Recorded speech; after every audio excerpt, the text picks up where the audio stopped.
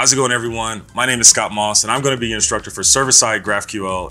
I've been using GraphQL in production since it came out and I've built many different applications with it. But what I've come to realize is that when implementing GraphQL on a server, it can be quite difficult when compared to something like REST. So in this course, we're going to cover things like creating a GraphQL schema, incorporating it with custom resolvers to satisfy those constraints, how do we actually query our database in those resolvers, and doing things like authentication when it comes to sign in and sign up. And by the end of the course, you should feel pretty comfortable creating a GraphQL API from scratch.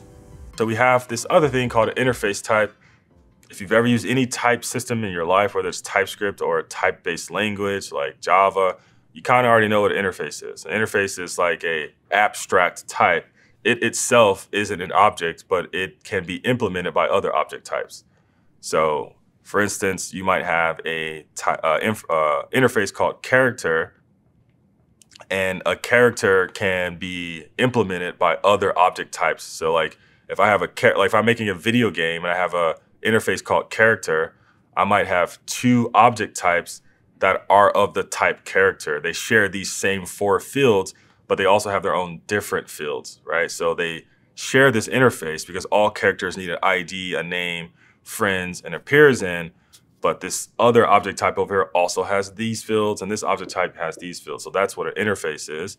So we can play around with that. So if we go back to our schema and we make an interface here, I can say interface, and I'll call this a. Um, I guess I'll just do the same thing, character. So we can say character, uh, and I'm just gonna take the name off a person and put it on character because all characters have a name.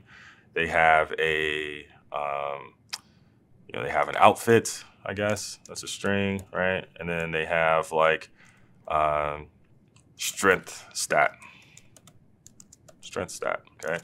And that is gonna be an integer that's required.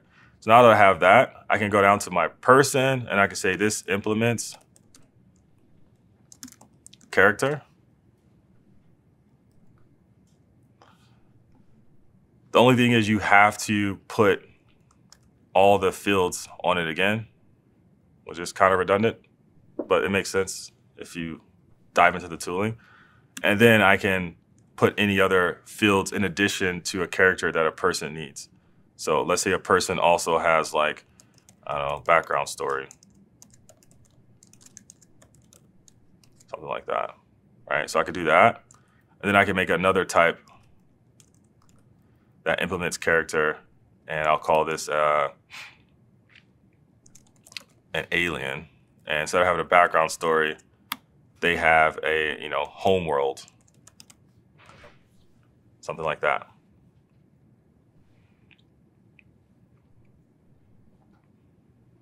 And then what I could do is instead of, actually, I'll just make another query and I'll call it uh,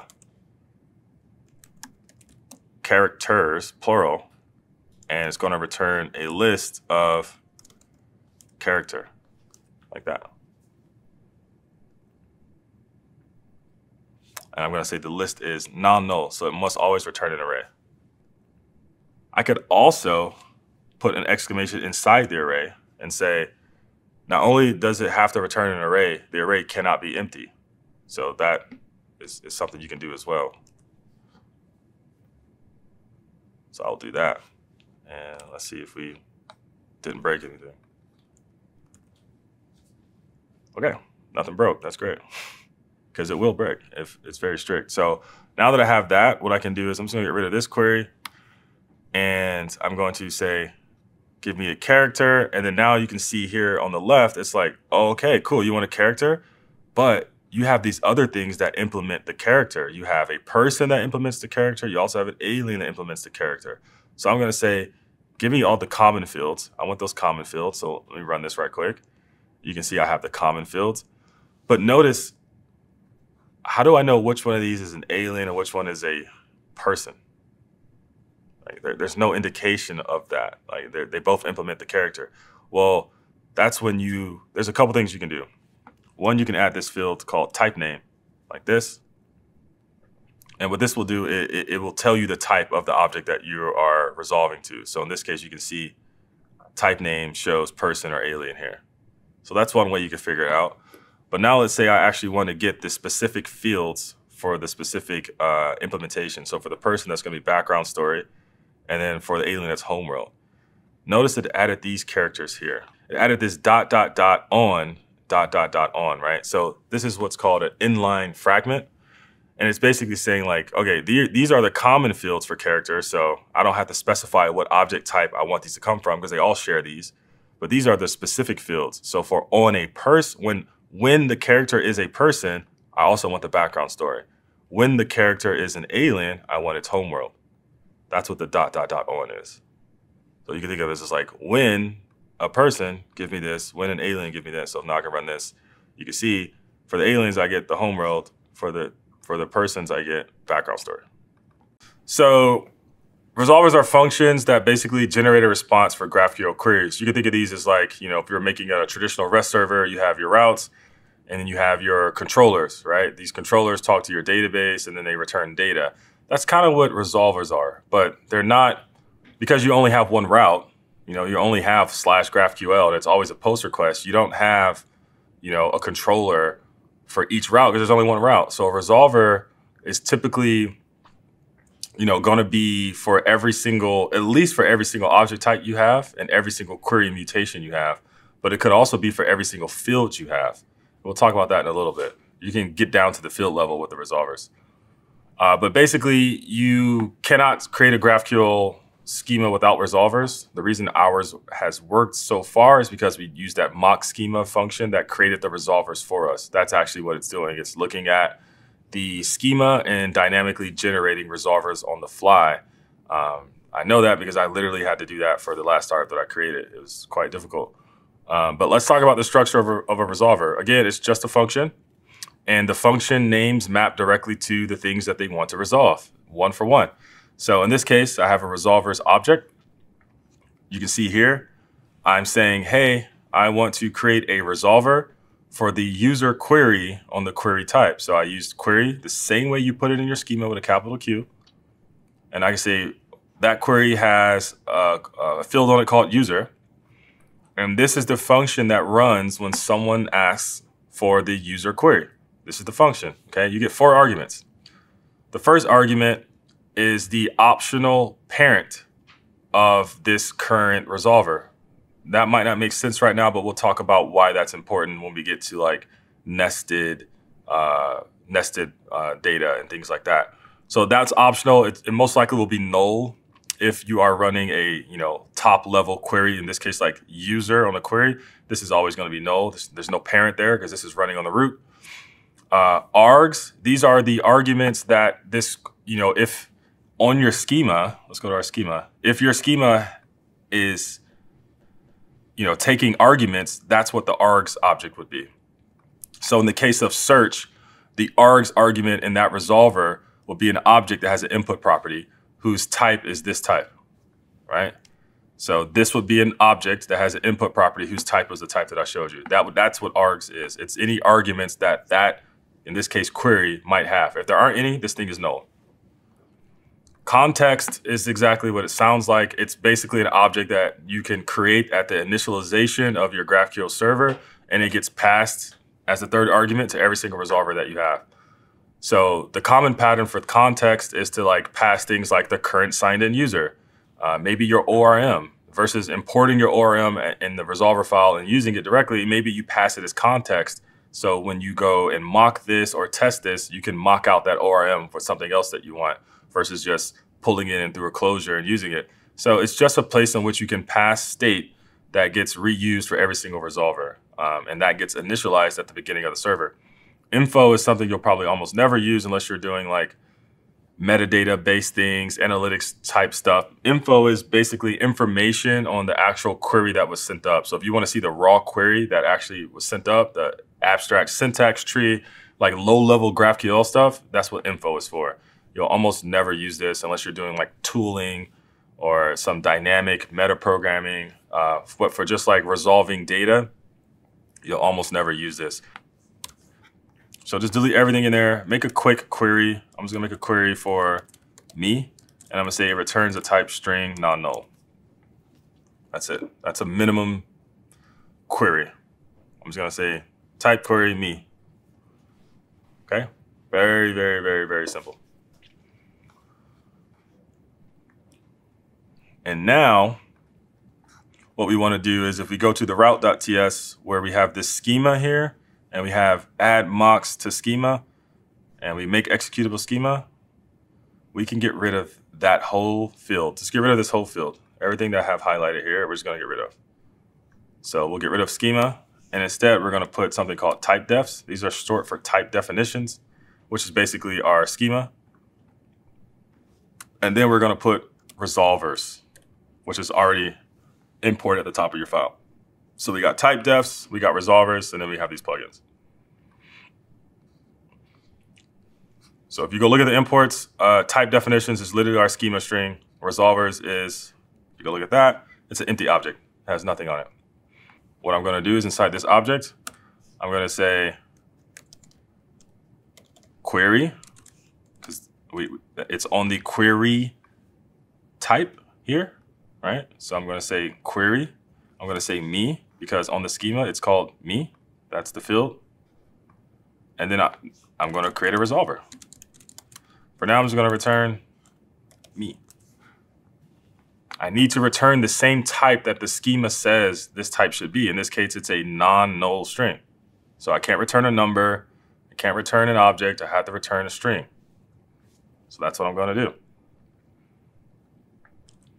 So I go here, I run this again, I now get me. Now we need to resolve our issue with GraphQL. There's some things on there that we have to tell it about. Specifically, we need to teach GraphQL how to get a user for an issue because we said the issue type on GraphQL has a user, which is a nested type. So we have to tell GraphQL how to resolve a user, which is an object type, on an issue, which is an object type. Because by default, it won't. Because, I mean, I guess technically we could just write some more query here. We could say left, you know, we, we could do a join here and try to get the user, or I guess technically what we could do, you could just do this. You could say like, oh, okay, uh, spread over that. And then here's the user, which is going to be ctx.user. Like you could just do that. And then it will just automatically resolve the user property on the issue that's returned here. But who says that the context.user is going to have the full fields that a user type would. There's no guarantee. I mean, in this case, I, I mean, I did. Our user only has three properties, but you probably want to get the user from the database and not from like this context, because who knows what you put on the context as far as a user might not be exactly what you expose as a user for a GraphQL type. So they might all they might not always align. And also, you want to make sure you you leave it up to the resolvers. Let the resolvers do the heavy lifting. Don't try to like over optimize with the databases. That that is a solution for optimizing, but it's I've, I've been down that path, and it's it's basically like looking at this thing right here, and and then instead of letting the resolvers figure out what order they should run, you actually just run the whole graph in the top level resolver based off this query. So you parse this query yourself and figure out and turn that into a database query basically. Take this GraphQL query, turn into one big database query and return everything here versus, oh, I'm only going to just query for the thing that I need and make resolvers for it, which could lead to more database queries. There's pros and cons, uh, but we're just going to leave it up to the resolvers for now. What I just described is super advanced. So in that case, we need to say, hey, you need to resolve the user issue. So I'm gonna go down here at the mutation. I'm gonna say issue. This is how you resolve a user like this. As the first argument to user, that's going to be its parent. I'm just going to call that issue because that's for sure always going to be there. And all I really need to do first, this doesn't have any arguments, so I'm just going to skip that. But we do have context here. And I'm just going to do the same thing um, that we did in issues. If there is no user, then how are you going to get the user for this issue? So go ahead and do that. And then from here, it's just a database query. So I can say return db query users find first where and then you use this EQ function, which stands for equals, where users dot ID is the same as issue dot user ID. How do I know there's a user ID on the issue? Well, I know that because the database schema has user ID on the issue. You can't create an issue without a user ID. Uh, and I'm returning an entire issue here, which should have a user ID. If I hover over this, it'll say user ID string. It's right there. So assuming there is an issue, there should be a user ID on it. And this is the issue because this user is a child resolver of the issue, which is being returned here. So that's how we get our user. So should be able to save that. Should be able to create a user now. Uh, I think the last thing we need to do actually is resolve the enums. So the only reason we have to resolve them is because in the database, they're all lowercase, but in GraphQL, they're capitalized. I could have just made them both lowercase or both capitalized, but why not show you how to resolve enums, right? So I'm actually just gonna copy because that's so redundant to write. I don't feel like writing it. I'm just gonna put it at the top of my resolvers. And just to get you to understand what I'm saying, if I go to my database schema, my enums are lowercase. If I go to my GraphQL schema, my enums are capitalized. That's why I have to resolve them that way. Um, so let's go here. I'm still signed in with my headers without with my Daryl user. I'm gonna go to root. I'm gonna go to mutation. I'm gonna go create an issue. I'm gonna say, give me the ID, give me the name, give me the user. I want the user's email and ID. Um, I also want the content as well. So I'm gonna do that. Let me just delete these args right quick. And then I'm gonna say, um, uh, there we go. Get these arg. Well, no. Can we add the arguments, please?